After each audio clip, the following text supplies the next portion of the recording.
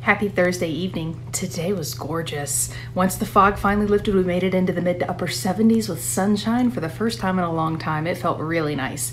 Unfortunately, tonight, the fog is back. It's going to creep in from the west coast along I 75 and spread across our area overnight, reducing our visibilities as our temperatures get down into the low 60s. So, a foggy start to your Friday, but under mostly cloudy skies, we'll still make it into the low 70s for an afternoon high. Showers will start to spread across southeastern Georgia during the midday and afternoon hours and across across northeastern Florida by the late afternoon and early evening hours, and that kicks off a wetter weather pattern that we're stuck in for the weekend with a few rounds of rain moving across our area from the west to the east. On Saturday, it's more of a Georgia rain along into the north of I 10, seeing significant showers passing through during the day and in, even into the afternoon hours. Northeastern Florida gets in on the showers during the evening hours as the we get through most of the day without rain across northeastern Florida on Saturday. Sunday looks like the wettest time. We'll see widespread showers, maybe a few thunder thunderstorms sweeping through on Sunday. By the end of the weekend across the Suwannee River Valley, we will have seen two to four inches of rain, possibly causing some flooding, especially along the Suwannee River and possibly the Altamaha.